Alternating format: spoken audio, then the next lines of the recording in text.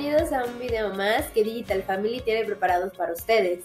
Mi nombre es Andrea Gastelum y me desempeño como entrenadora en desarrollo profesional docente. También soy experta en ciudadanía digital y me da mucha emoción compartir con ustedes la siguiente aplicación de G Suite for Education que es Google Groups. Para poder hablarles de esta herramienta, de esta aplicación, me gustaría que hablemos un poco de comunicación, ya que en lo personal considero que es muy importante eh, desarrollar este tipo de habilidades comunicativas con distintas herramientas o entornos digitales. Porque bueno, desde la perspectiva educativa y también en distintas esferas de la vida, pues la comunicación es un elemento con bastante relevancia. Podemos hablar de la comunicación como un proceso básico humano, ¿no? Que por supuesto, pues se ha trasladado a los entornos digitales con esto de la revolución tecnológica y digital. Y vamos a verlo desde la visión pedagógica porque desde esta visión nosotros le brindamos importancia al elemento la educación, ya que organizaciones e instituciones relevantes como ISTI lo mencionan reiteradamente como una de las habilidades del presente y del futuro de manera tanto educativa como laboral. Y bueno, G Suite for Education nos brinda herramientas para propiciar el desarrollo de este tipo de habilidades y en este caso pues nos trae Google Groups para crear un entorno seguro y eficiente de comunicación tanto con nuestros estudiantes como con nuestros compañeros de trabajo. Y por supuesto que es importante que los estudiantes se comuniquen de manera asertiva y segura. Y también tiene relevancia que nosotros como docentes brindemos esos lugares aprendiendo a discernir entre todas las herramientas, aplicaciones, plataformas que conocemos y dando prioridad a aquellas que tienen protección de datos y que no generarán confusión por un difícil manejo. Y este es el caso con Google Groups. Es muy, muy sencilla de utilizar y es bastante intuitiva por lo tanto, nos va a permitir crear dinámicas eh, con objetivos pedagógicos muy específicos y que ayuden siempre al desarrollo de este tipo de habilidades. Pero bueno, no les hablo más de esto, vamos a verlo todo esto en acción. Lo primero que vamos a hacer es ingresar a la página principal de Google Groups. Una manera muy sencilla de hacerlo es ir a la parte superior derecha en donde está el menú de aplicaciones o waffle como le decimos nosotros y buscar el icono de grupos que es este. En caso de que a mí no me aparezca aquí, lo único que voy a hacer es ingresar a groups.google.com y me va a aparecer la página principal.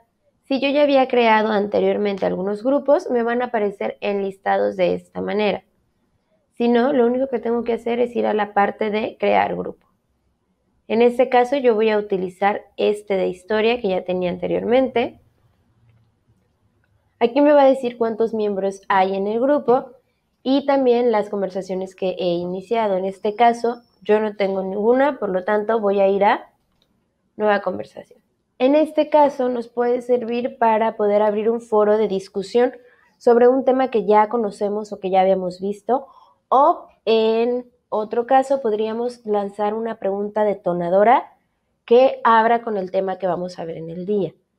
En este caso, mi tema va a ser independencia de México desde la perspectiva de los personajes principales. Después de esto yo les voy a dejar las instrucciones claras de cuál va a ser la dinámica y bueno, en la actividad que yo estoy poniendo, ellos van a elegir un personaje principal de la independencia de México para contestarme como si fueran ellos. O sea, eh, van a elegir a alguien y decirme, relatarme la independencia desde sus zapatos, desde la vista de este personaje. Una vez que yo doy clic en publicar el mensaje, me va a aparecer aquí, esta es la primera conversación que yo inicié y aparece de esta manera.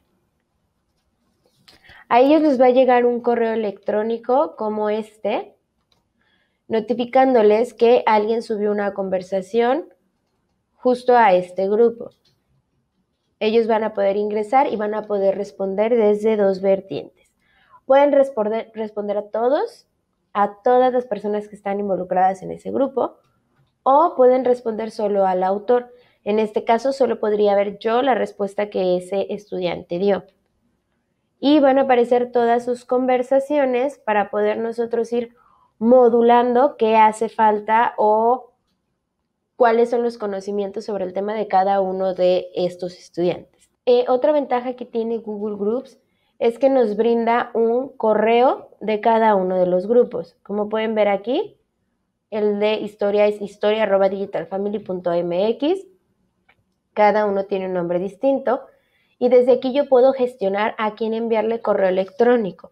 Esto quiere decir que vamos a poder utilizar en conjunto las herramientas Google Groups con Gmail. Justo eh, con estos, estos correos que nos genera, lo que yo puedo hacer es ir a Gmail, redactar un correo electrónico, voy a poner el asunto y un mensaje.